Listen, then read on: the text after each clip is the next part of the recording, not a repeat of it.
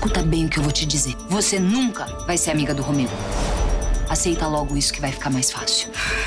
Eu estou cogitando em colocar de novo um segurança para te acompanhar. Quê?